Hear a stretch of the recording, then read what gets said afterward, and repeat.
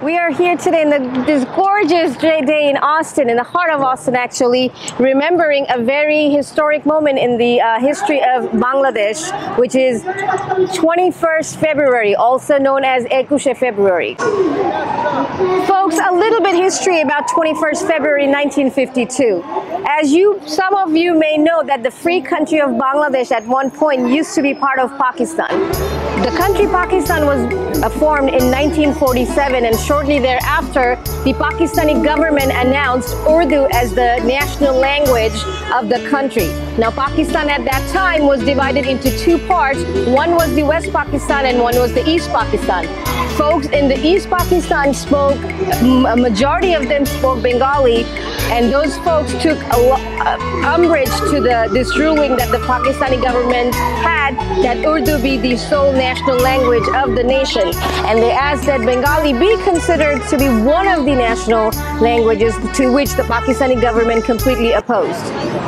Following that ruling, there was a lot of disagreement, anger, and uproar amongst the people of East Pakistan that wanted Bangla or Bengali to be one of the to be considered recognized as one of the national languages to which the Pakistani government opposed to. And such uproar one day led to this day of 21st February. Back on that day, 21st February 1952, a group of people marched on the streets of Dhaka peacefully protesting against this ruling of the Pakistani government when a set of Pakistani police fired upon them, killing several of them.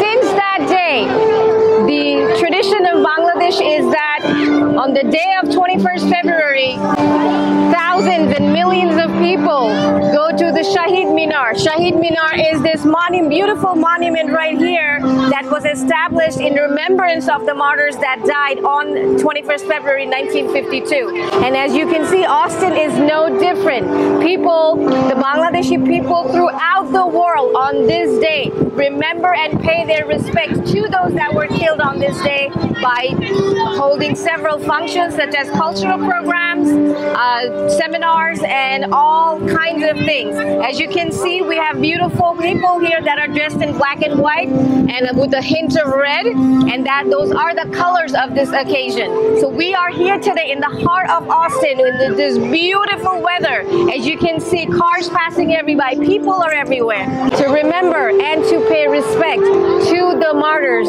who gave their life for a very basic need, which is wanting to speak their mother tongue.